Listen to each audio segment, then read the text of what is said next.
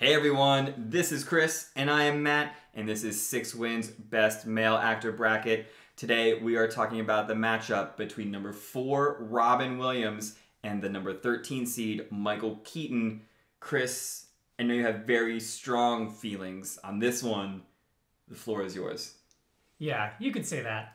Um, I don't want to catch too much heat, so I'm gonna go. I'm gonna go a little easy because I want to get this out. I am a Robin Williams fan. Mm-hmm. I like him. However, I think he's overrated. Now, I'll say this because I don't think he got the love that he has now before he unfortunately passed before his time. Very sad. I'm not making any light of the fact that he was a little depressed behind the scenes, maybe some substance abuse stuff. Um, but I just never heard anybody say, I'm a huge Robin Williams fan before he passed. Now it's like everyone's on the Robin Williams train. I think Biggie Smalls got a little bit of that too.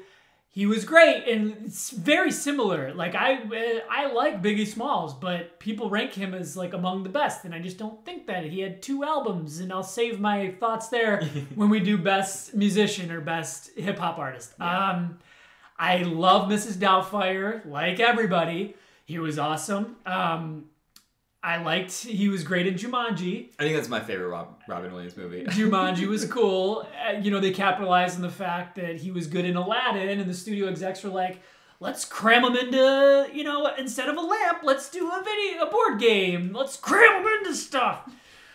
Robin Williams, just cram him in there. Um, That's good. He had that really good stand-up special where he spoke in a Scottish accent and drank 19 bottles of water and sweat all over the place.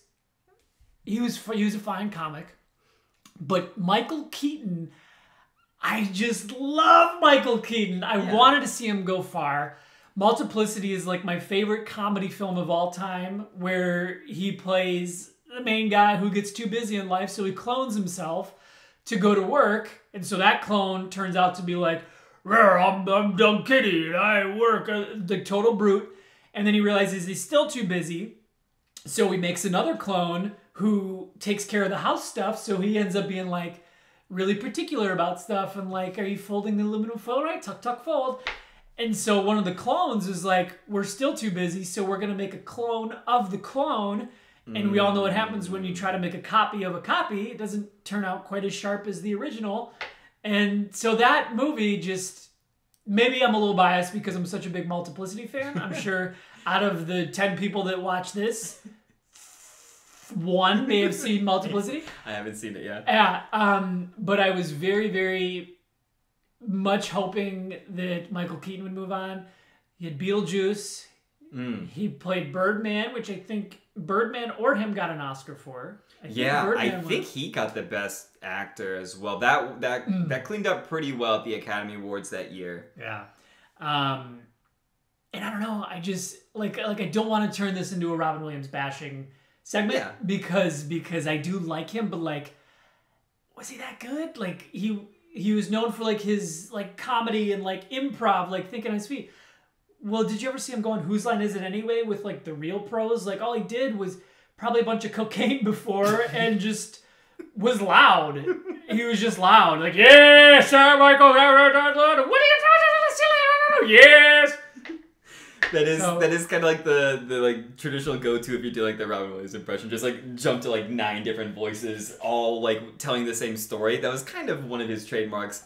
I'll fill in here because you're right. Michael Keaton, I think, is. Uh, Close to underseated, maybe. Uh, he's very talented. It- and like you said, in addition to, to Birdman and some of his like more recent stuff, obviously he got cast in Birdman, and it was a bit of sort of like a like a meta movie because he was Mm. cast as like pl- like being an actor coming back Mm. to a role and i think that was like sort of based on his real life being batman in Right. uh, a couple he was one of our many batmans on this list um, which i think he did really well as batman um, He's my Batman. yeah, and uh, so Michael Keaton's got a lot of solid films. I will say, like Robin Williams' comedy is what he's most well known for, but it is comedy that like most comedy isn't always for everyone. So I think you Mhm. will get people be like Robin Williams just doesn't do it for me. Mhm. But Robin Williams did have a few like really solid serious roles. Uh, he's in Good Will Hunting as kind of like the psychologist psychiatrist for Matt Damon's character. Very like serious role, does a really good job, and he's in Dead Poet Society, um, which for a lot of people is like a really really solid movie Mhm. and like very dr- very dramatic, very serious. So Robin Williams has shown more than just the comedy in his movie roles, as opposed to like his his TV appearances and his stand up. Yeah. So I, I do think like Robin Williams can get a little bit more credit, even if you don't like his comedy. He has pulled off some of the serious stuff before. So yeah, I uh, do you want to reveal who won? Did Michael Keaton come through for you? Well, I just wanted to say one Oh yeah, yeah. I wanted to tell you one thing. It's not your fault. It's not your fault. It's not your fault. Good Will Hunting. Yeah, it he's was trying Good to break Hunting. through with Damon. He goes, Yeah. I, know, I know. What do you do? Why are you doing this to me, man? I didn't know what Matt Damon said there, so I was like, I better not make it up. Well, I was hoping to have a breakthrough. With me, To yeah, I was hoping oh, to penetrate that'll take a few more months. Michael Keaton. Lost. Michael Keaton did lose. Robin Williams went on.